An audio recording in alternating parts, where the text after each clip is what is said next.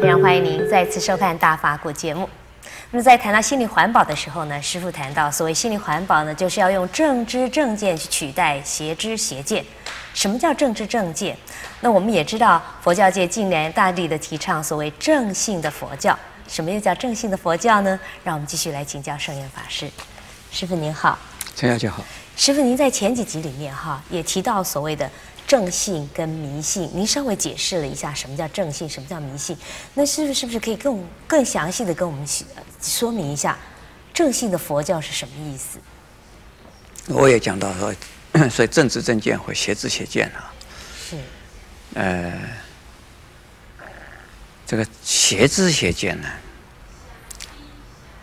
呃，有的时候也蛮蛮蛮动听的。呃，这个比如说，呃，让你能够很快的升官，呃，发财，能够很快的有好运，呃，很快的呀，呃，能够有大房子，有小汽车。呃，样样样都有哈。对，我听说有有人说，说你去做火供啊，大概去烧一些什么东西，然后你就会，呃，因为你你奉献了一些什么，烧了一些什么，你就会发什么比较大的财。对，有一些 有一些人呢，专门教人家吃一种什么咒，马上啊就能够发财。呃，这种不是正信的佛法啊。但是那种有没有用呢？好像有一点用，也不完全没有用的啊。呃，既然有一种这个宗教的现象出现，呃，它总是多多少少啊有一点用，完全没有用，不会有人信的。那呃，我们不能说他那个邪教，我们只能说他自见不正确。呃，自见正确的是一定啊，啊不能够违背啊，这个这个种瓜得瓜，种豆得豆的这个因果原则。是，如果违背了种瓜得瓜，种豆得豆，那因果的原则的话，呃，那应该都是这不是正确的自见了。嗯。呃，非正确的自见，往往啊，呃，养成一个人的一种惰性，呃，巧取豪夺，呃，还有呢，投机取巧，呃，还有呢，不劳而获。这个大家都希望的。嗯。如果走到马路上去，最好，啊，不要去工作，就有一袋黄金，在那个 现成的，啊，捡回来就自己的。最好在哪里旅行的时候，这个路边上看到有一袋美钞，这这都多好。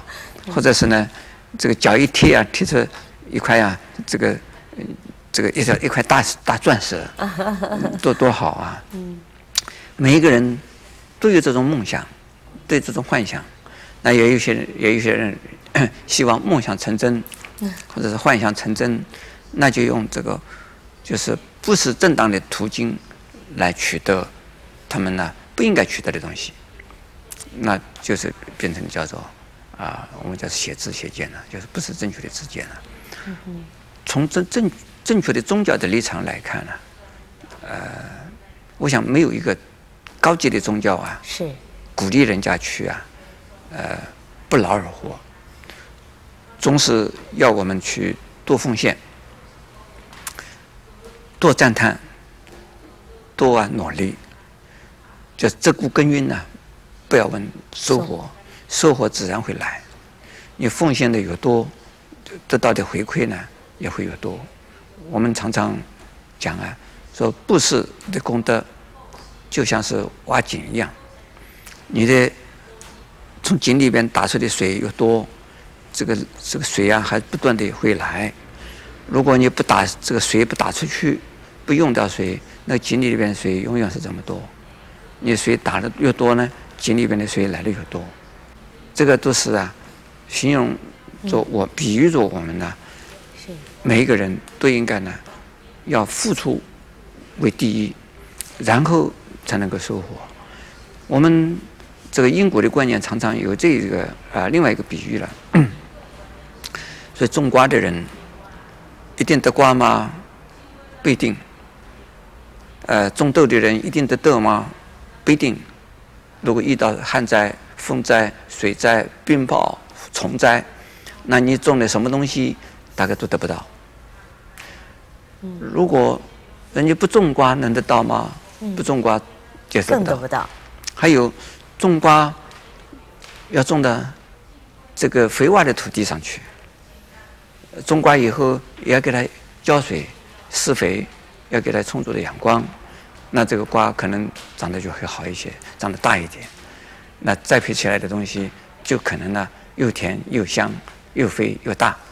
如果说我们种了瓜以后也不去浇水，也不去施肥，也不去不去拔草，那个瓜可能长到最后啊，变成被草吃掉了，被被草掩盖掉了。是。所以说呢，这个都是鼓励我们呢，要努力耕耘，努力的去耕耘，它自然而有收获。所以说呢，这个叫做政治正见啊。是。如果说是一个不是用这种方式的，那这用智慧，用智慧也是努力啊。用智慧去想，去考量，去啊发明，去发现，人家是没有没有生产过的东西，呃，没有见到的东西，我们可以发现拿出来用，这个是自己的智慧。所以用智慧这个赚钱呢，比较容易赚。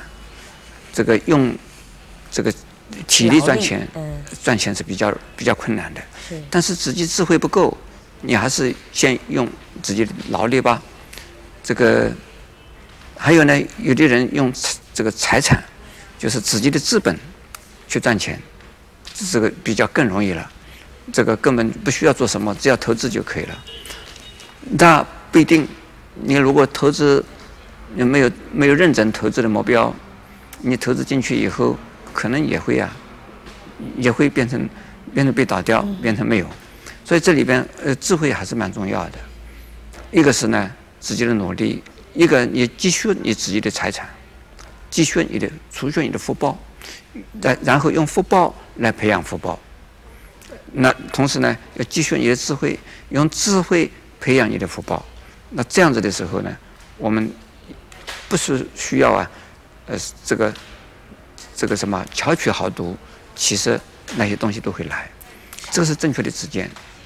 这是正确的佛法上的观点呢，呃，是这个样子的，否则的话就是写字写见了。是，非常谢谢师傅的开示。那么也欢迎您在下一集里面继续跟我们一起分享佛法的智慧。